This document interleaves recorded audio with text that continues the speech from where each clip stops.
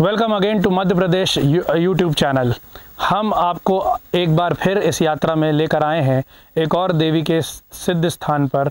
जबलपुर से करीबन 17 किलोमीटर दूर यह स्थान पहाड़ों की गोद में बसा हुआ है। पहाड़ों की ऊंचाई पे यह मंदिर एक ऊंचाई एक टीले पे स्थित है और ये मंदिर 1200 फुट ऊपर समुद्र तल से, यानी कि ज़मीनी तल से 1200 फुट की ऊंचाई पर है। हमको ये भी बताया गया कि ये जो मंदिर है, इसमें जो माँ शारदा हैं, वो सरस्वती जी के रूप में विराजित हैं। यह मंदिर करीबन 90 साल पुराना है और देश विदेश से आने वाले भक्तों की आस्था का प्रतीक है। अभी मैं जहाँ पे खड़ा हूँ, वो इसी मंदिर का एक स्थान है। मंदिर के इस तरफ़ लक्ष्मी नारायण जी का मंदिर है और मेरे दूसरी तरफ़ यहाँ पे मरही माता मंदिर और काली मंदिर है। ये दोनों मंदिर भी इसी जगह के एक महत्वपूर्ण हिस्से हैं। यहाँ भी श्रद्धालु बड़ी संख्या में आके अपना पूजा, अर्चना, नैवेद्य, ये सब पर चढ़ाते हैं। मंदिर के ठीक सामने आप ये देख पा रहे हैं, ये माँ का आसन लिखा हुआ है। इसका मतलब ये है कि ऐसी मान्यता है कि रात को माँ यहाँ पे विश्राम करती हैं। और इसके बाजू में ये हवन कुंड है, जहाँ पे कि हवन, पूजन और अर्चना होती है।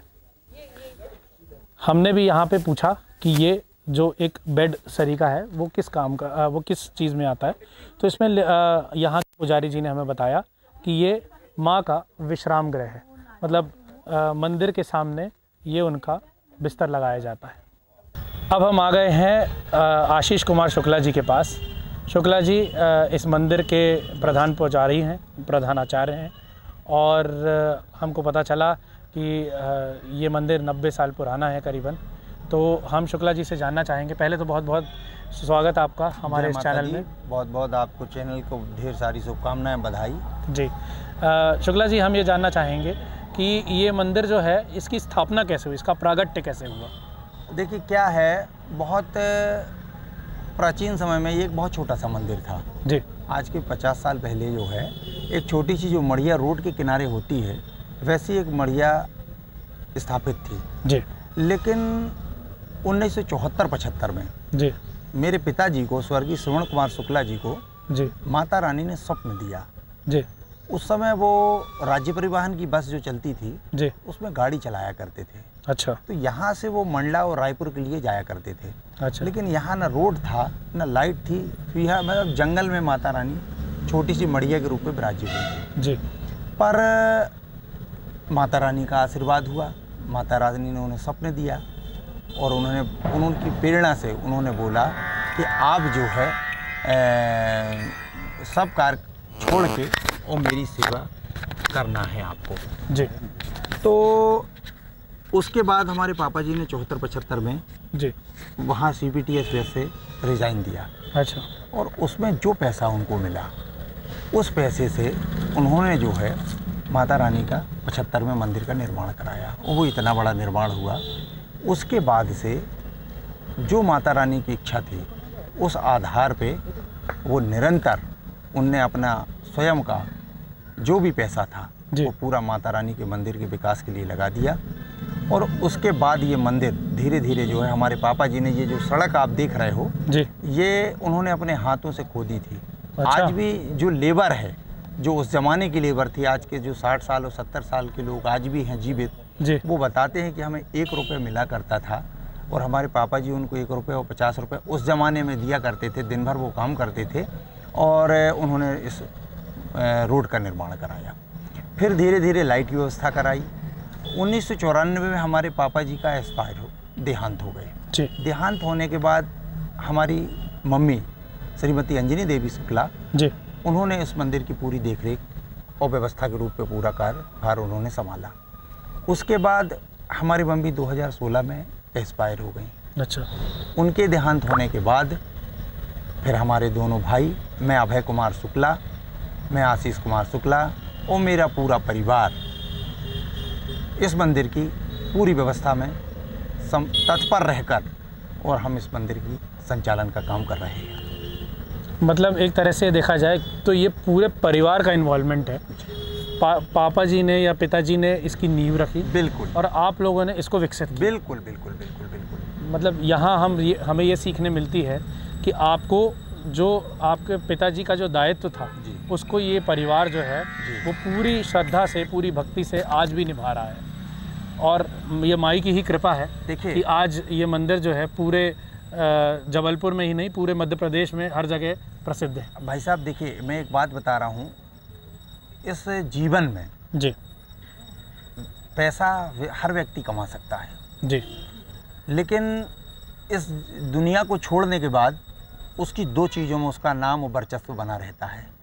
या तो एक वो बहुत बुरा काम करेगा तो उसका नाम हमेशा चलता रहेगा, या एक बहुत अच्छा काम करेगा। मेरे पिताजी ने और मेरे पूर्वज ने आज उनके आशीर्वाद से, आज हम ऐसी जगह पे बैठे हैं कि लोग दो अगरबत्ती लगाने के लिए हज़ारों रुपया खर्च करते हैं कि हम किसी मंदिर में जाके दो अगरबत्ती लगाएँ। तो हमारे पूर्वजों का ऐसा प्रताप है कि आज उनके कारण आज हमें उनकी पूरी सेवा करने का अवसर प्राप्त हो रहा है। हम अपने पूर्वजों को हृदय से नमन करते हैं।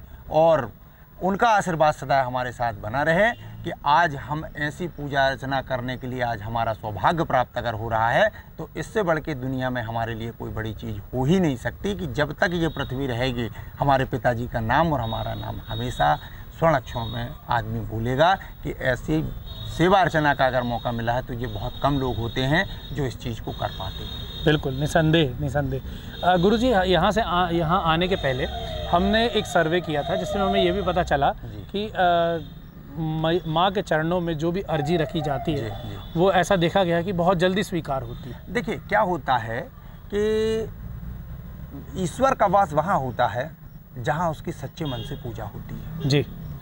हम अगर हृदय से उसकी पूजा अच्छे से करेंगे और उसकी आराधना करेंगे अब जैसे आज हम हमारा पूरा परिवार समर्पित है उस पर जी मतलब हम लोग हमारे यहाँ का एक सिस्टम है आपको यहाँ पे कभी भी इस तरीके का भी समझ में नहीं आएगा कि श्रद्धालु गणों के साथ में कि आज हम आपको नवरात्रि का भी हमारा परसों से कार्यक्रम चालू हो जाएगा जी। आप नौ दिन में आके देखिएगा कि कभी हमारे यहाँ कोई पंडा पुजारी अन्य सारे लोग। कभी आपको ऐसा नहीं करेंगे कि अगर आप अगर नारियल अगरबत्ती प्रसाद लेके आए हैं और नहीं लेके आए हैं तो आप वहाँ से प्रसाद ले सकते हैं और अपने घर के लिए जा सकते हैं। यहाँ आपको कोई भी आपको ऐसा नहीं मिलेगा कि जिससे आपको तिलक चंदन वाला कोई व्यक्ति हम बिठा लें और वहाँ आपको तिलक लगाने वाला और ग्यारह दे दो इक्कीस दे दो ये हमारे यहाँ कोई परंपरा नहीं है।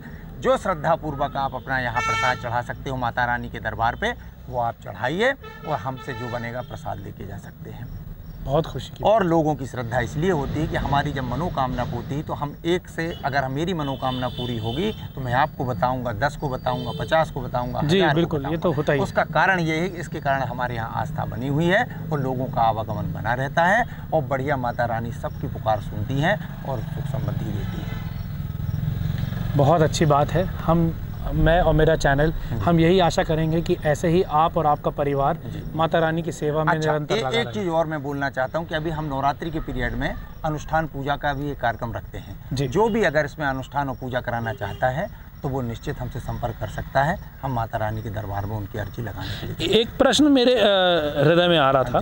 हम वहाँ ऊपर गए तो हमने देखा कि एक माँ के सामने एक उनका बेड जैसा लगा हुआ है। जी जी जी। ये क्या मान्यता है? ये इसकी मान्यता ये है कि एक्चुअल माता रानी का ये आसन है। जी। एक बात। दूसरी चीज़ हमारे यहाँ जमुनिया एक ग्राम है।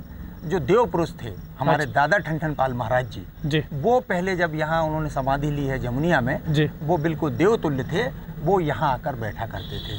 और उनका आशीर्वाद हमारे पिताजी के ऊपर था उसी समय से वो आसन बना हुआ तो वहाँ मतलब मुझे एक पुजारी जी ने बताया। कि माई वहाँ पे आके रात में विश्राम कर विश्राम का है। ऐसा माना जाता जी बिल्कुल बिल्कुल। तो- क्योंकि उस स्थान में देव आत्मा ही बैठती थी। अच्छा अच्छा हाँ अच्छा। क्योंकि दादा भगवान जो थे दादा ठन पाल जी महाराज जी वो स्वयं भगवान रूप में थे। अच्छा। जी हाँ। बहुत सिद्ध तो वो वहाँ बैठते थे। और अब उनके बाद ये माना जाता है कि माई वहाँ खुद आके विराजती हैं। रात में। बिल्कुल बिल्कुल। अच्छा अच्छा। मंदिर कितने बजे बंद हो जाता है? हमारा मंदिर सवेरे साढ़े आठ पे खुलता है जी। और शाम को सात बजे बंद हो जाता है। नवरात्रि के पीरियड में हमारा मंदिर चार बजे खुल जाता है और रात के ग्यारह से बारह बजे तक खुला रहता है। बाकी टाइम बंद हो जाता है। क्योंकि हम अखंड ज्योत जलाते हैं घट स्थापना करते हैं और अष्टमी में हमारा हवन होता है और रोज दुर्गा सप्तमी नवरात्र में जवारे भी रखे जाते हैं जवारे हमारे यहाँ कलश स्थापना होती है। कलश ठीक है। बहुत बहुत धन्यवाद आप बहुत बहुत धन्यवाद। बहुत अच्छी अच्छी जानकारी दी हमको और हमारे व्यूवर्स को।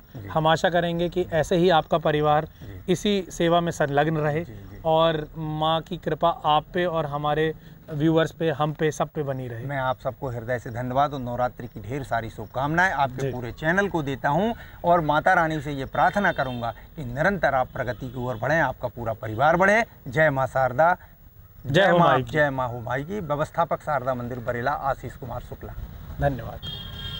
ठीक है सर। सर नवरात्रि के इस पावन पर्व पे बहुत सारे श्रद्धालु यहाँ पे हज़ारों की संख्या में आते हैं और अपनी अपनी मनोकामना माँ के चरणों में चढ़ाते हैं।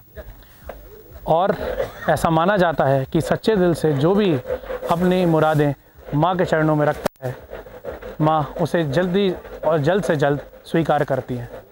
कैमरामैन शेखर की तरफ़ से हम एमपी दर्शन और हमारी पूरी टीम भी माँ के श्री चरणों में ये अर्जी लगाते हैं कि यहाँ जो भी श्रद्धालु आते हैं और माँ के सामने अपना सर झुकाते हैं, उन्हें माई जल्द से जल्द और जितनी जल्दी हो सके उनकी मनोकामना पूरी करें। एम पी दर्शन की तरफ़ से मैं सौरभ सब लोग और शेखर यहाँ पर आप सबको यहाँ का एक ओवरव्यू देते हुए